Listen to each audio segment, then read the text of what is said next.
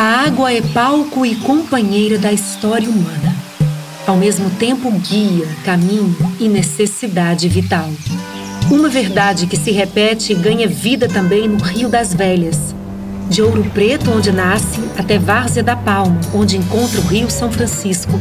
O Velhas atraiu gentes, fundou cidades, ajudou a criar a identidade e a força do Estado. De suas águas, a vida flui, abastece e alimenta milhões de pessoas em 51 municípios.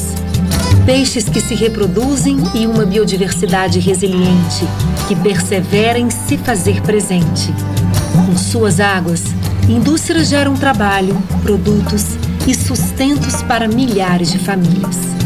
Em suas águas, pessoas se banham e constroem suas memórias e histórias um rio e suas gentes. Gente que é a essência de um comitê marcado pela gestão descentralizada, que se apresenta próximo pela atuação dos subcomitês, pela participação social na gestão das águas, pelo olhar sustentável e pelo trabalho eficiente. Uma união democrática entre sociedade civil, poder público e os usuários da água.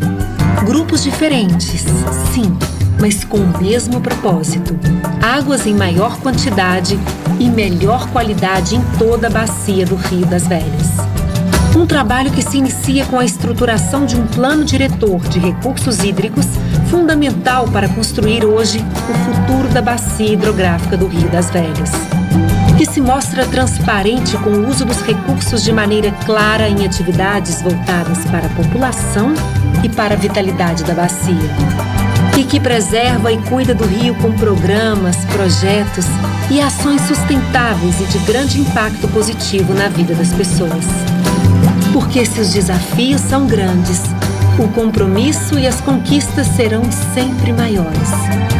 CBH Rio das Velhas, parceiro das águas, parceiro da vida.